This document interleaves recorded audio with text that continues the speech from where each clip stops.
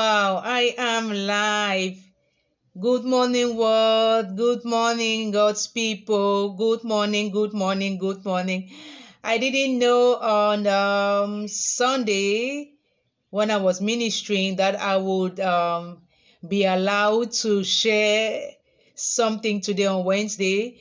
You know, when I brought this um, ministry to IG, the instruction was to minister live twice a week, right? So, um, as I was going on this um, spiritual journey on the 3rd of January for 14 days, I didn't know if I would be able to do this. And I remember saying on live on Sunday that if you see me here today on Wednesday, then it means that I have been um, given the permission to do this.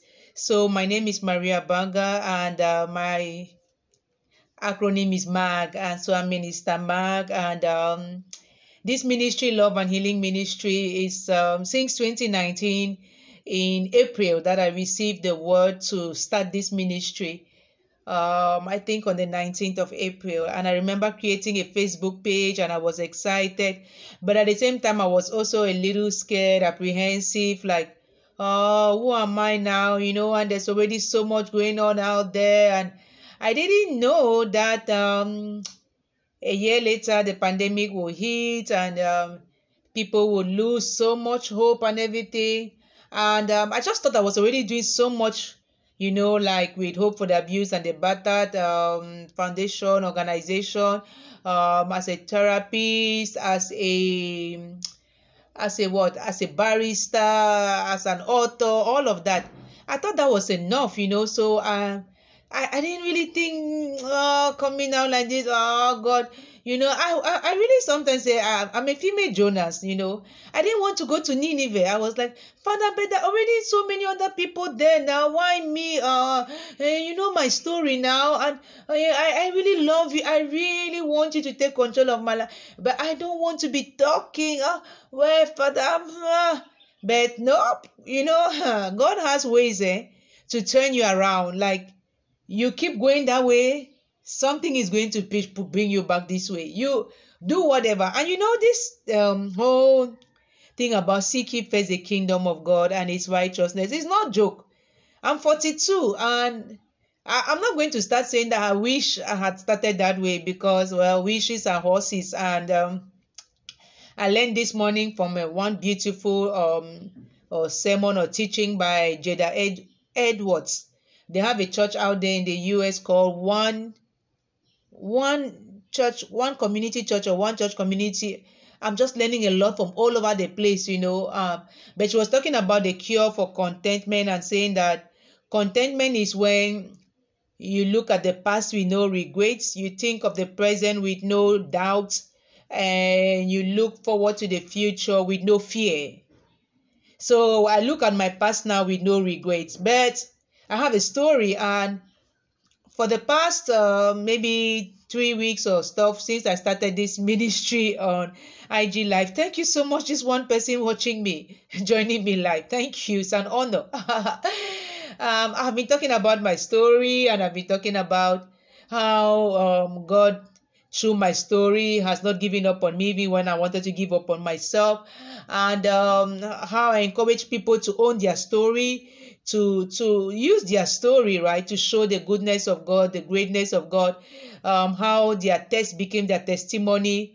And i have written books and i'm like okay so it's for a time like this right to use my because my ministry is actually to show how in my life god has filled me up with so much love and giving me so much healing and he continues to do that and so if you just you know kind of like surrender to him that's something i wrote down and i'm going to read it with reckless abandon, he will do the same for you. Because if he can do that for me, who am I? Why would he not do that for you? You don't have to be a. I was talking to my kids this morning during devotion and reading from the passage I'm going to share there to Isaiah 42, um, 6 and 7. And I'm like, he didn't call to he didn't come to call the righteous. He came to call people and then help them, you know, become righteous enough to continue doing what he wants them to do, all for his glory. And this is for those who believe. it I don't have any problem with people like, ah, that your God, that your thing, that your ah. You know, there was a time when I was also going through my own night of the soul and having my own um, crisis of faith and everything. So yeah, I didn't necessarily see eye to eye with Christians or you know fanatics or whoever and all of those things. I'm not really a religious person, but I'm a very spiritual person. I love God so much. And yes, I am a Christian and stuff, but my own way of worship and practice and all of that fellowshipping, it's it, it might be really unconventional to each their own. So I want to read um, something from this my book. When I started this um, uh, 14 days on the 3rd of January, that's how it works for me. He just tells me things, he tells me things. That's why you need to be quiet. You need to go into, you need to stop talking. You need to get out from, you know, mainstream social media. You need to, so that you can pay attention. I'm also doing this um, abstinence with commitment journey, 365 days. I don't know what he has in store for me or what will happen after those 365 days, but I'm on day 36 and I'm enjoying my journey. And one of the instruction is to do daily videos, daily updates and so I started a YouTube channel specifically for that called Mag and God. And I'm also sharing, you know, it on IG. So it's just been so beautiful. So he told me you're going to use two of your books for these 14 days. The first one is No More Playing Russian Roulette with God, My Journey from a Searching Soul to a Serene Soul. And the second book I'm to use is battered, tattered, but not shattered, finding the strength in what remains. Those are books I wrote, you know. This one I published it um, in 2020, It's on the Amazon. And I received the word to write this book. I just saw the date today on the 3rd of or the 9th of March 2018. oh, are you? God and I. It's really supposed to be Mag and God. Okay, so um, what was that date? I think it's on the 9th of March that I received the word. Although I started writing the book March 2018. Yeah, um, he told me in March 2018, he gave me the topic, the title of the book, and said you will start writing it in 2019.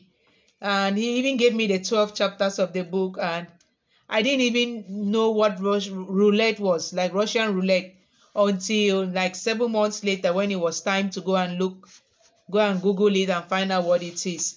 It is just so beautiful what God does, and um, I'm really now comfortable with using my story um, as a living testimony, hoping that um, it, it ties in with my purpose, which is to inspire, motivate people from all walks of life with my personal experiences. Yeah, um, the date was really Saturday, the 3rd of March 2018. Barely two days into a long fast I was committing to undertaking as led by my spirit. That was the day I got this title. That long fast was a 70 days fast in, in four stages 7 days, 14 days, 21 days, and 28 days, with this break of three days each. Oh my goodness, the instructions, the everything. But when I did that, because before I done three days, seven days, 21 days, 30 days, but when I did those 70 days, I knew that no, no, no, no, no. As long as I keep my eyes on God, nothing, nothing will shake me off until my time is up. Like what I went through those 70 days and what I got out of those 70 days. Oh, I, people are talking about the benefits of fasting. The benefits of fasting It's not just talk, just try. Try even one day, two days, three days, seven days. Try, try, just try.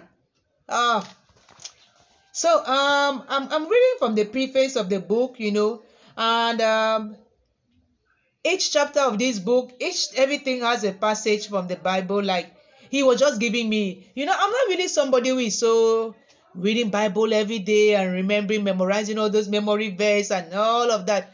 I don't even try to pretend that I can compete with, uh, you know, the likes of Sarah Jakes or T.D. Jakes and all those people and everything. No, no, no, no. To each their own. Each is called to their own ministry and their own everything. But when he needs me to talk about something and I need a verse, he thinks that I need one, he gives it to me. So the preface is taken from uh, Proverbs 3, verse 5 to 6, which is actually my memory verse. Like when I was in Belgium, as I've talked before, and he said, Bring down that Bible, which I had put away for two two years and he said open i put on the light open i open and i was three verse five verse six and i started to cry like why had you not shown me this but of course i had read that passage a long time ago. But I kept searching. So that passage really kind of made me to stop searching. Because well 3 verse 5 verse 6 says, Trust in the Lord with all thine heart and lean not on your own understanding. In all their ways acknowledge him, and he shall direct their paths. So I said, I didn't need to continue trying to understand all I could, or trying to understand all. I could just surrender in reckless abandon with my typical stubborn but passionate faith. I know I have a stubborn but passionate faith. And remember in the process to always acknowledge Him and then watch Him direct my path. That hasn't been easy, you know. I've, I've, I've fumbled, I've fumbled, and I and uh, the last fumbling was in November, on the 21st of November, precisely when I had sex. And after that, I, I felt so convicted, so terrible. I was like, Papa, I'm tired. Papa, I'm tired. And and he said, Can you give me 12 months of your body? I, I, I was yes, Papa, yes, Papa, yes, Papa. So I'm like, I have done this um, abstinence journey twice but um, the first time, I don't know for how long I went before backsliding. But the second time, I went for five months. So, but I know that this time I'm going for all these 365 days. Why? Because I'm doing it public. So I'm holding myself publicly accountable. And I know exactly why I am doing it and the promise and, and the everything. And I'm just so, so, so into God now. You know, the first two times it wasn't really so much for that. It was more of a like, well until I meet some serious person. But this time around, no. Either I have a husband or I'm just completely into my ministry and I don't want no sex anymore and no foolish relationship in my life anymore. And you know, well, sometimes uh, to do what God has really called you to do, and if you want to to really continue enjoying that love and healing from that obedience, then you better have to give up something, and you have to give up what is not serving God, what is not honoring God. And the theme for my year 2022 is honor God. So, nope, anything that does not honor God, get behind me, Satan. I have no problem cutting off people. You know, in short, I ditched my vibrator. I bought a vibrator. I used it once last year.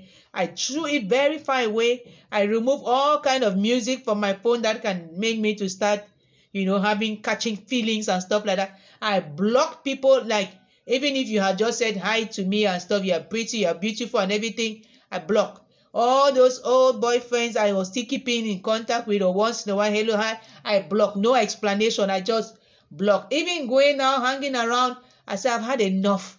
I have danced until I can dance no more crazy in the nightclub and everywhere. So I'm no more dancing that crazy. I'm dancing for I'm radical for Jesus now. Like I love the Bible. I love the message I get there. I love the serenity I get from that.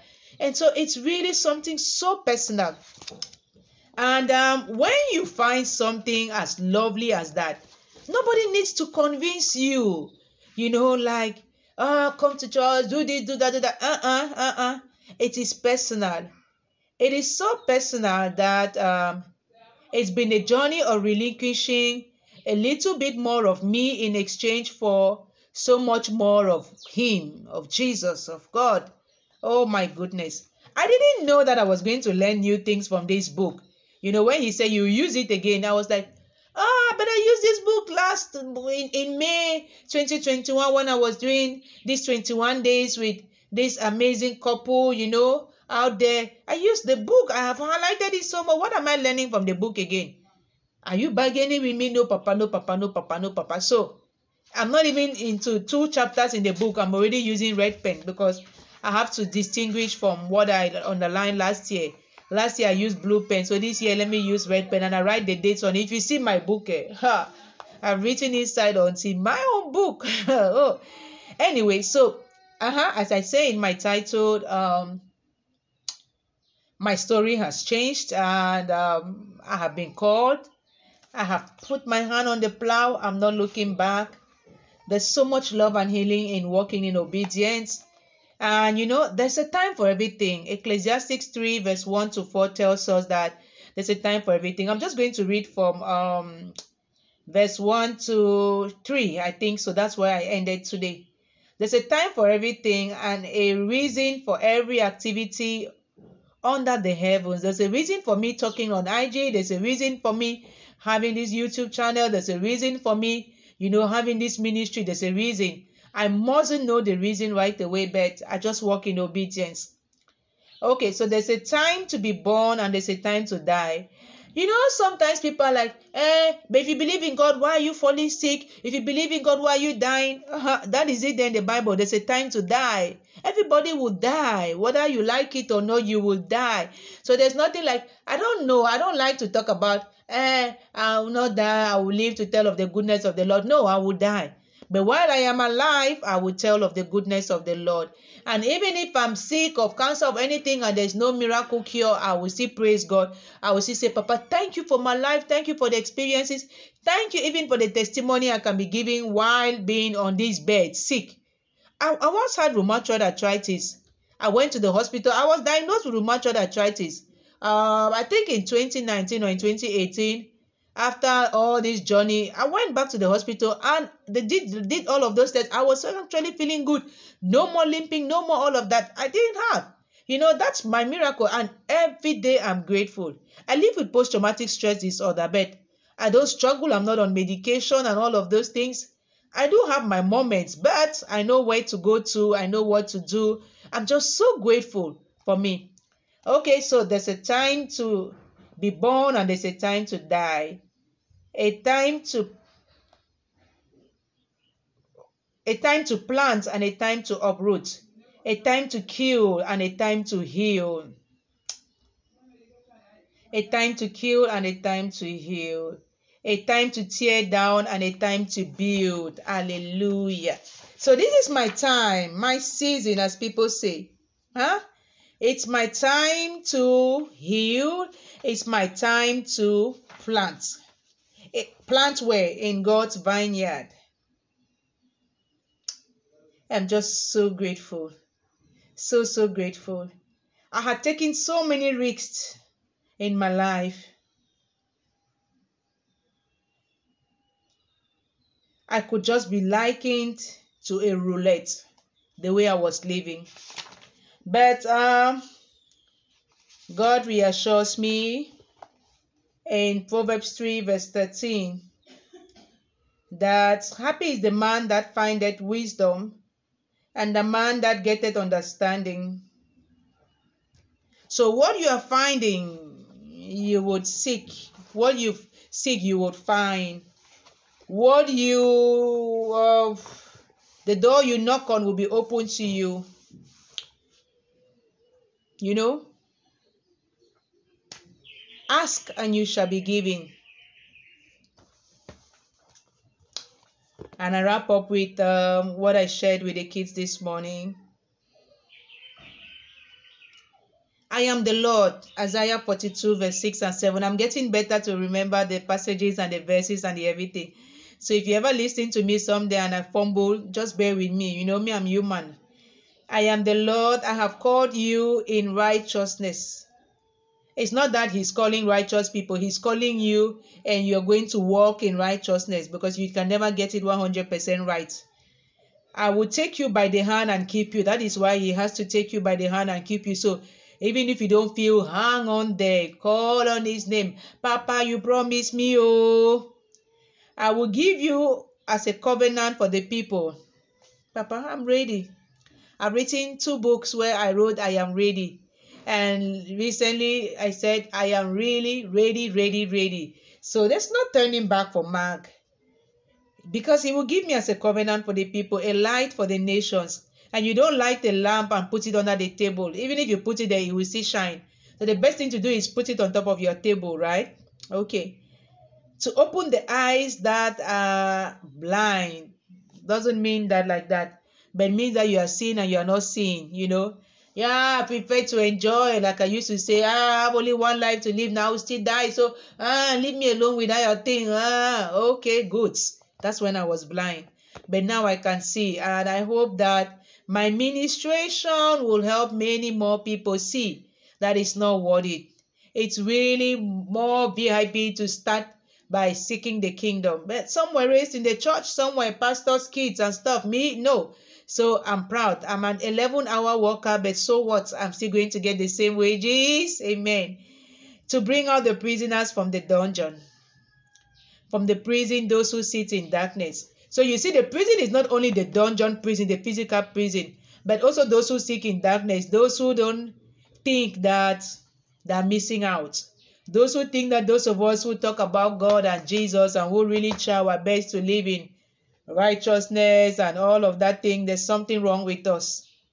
Some of us are going to be called and have been called. Some of us will continue being called, you know, to go into the vineyard and do different things. After all, the harvest is so much, but the laborers are few. So whoever watches this video later, you know, just like me, your story can change or it has already changed and you are called, but you are not so sure because you are scared and uh, who am I and everything. Me, I had all of those thoughts and everything, but I'm like, no, no, no. I don't need anybody's permission, you know, to start talking, to go on IG Live, to do that. The same God that I used to say, ah, spare me with that God, is the same God I'm now saying, hey, since 2015, I started to seek Him. He's telling me in 2022, You are my beloved. I am proud of you, and you will keep doing what you do.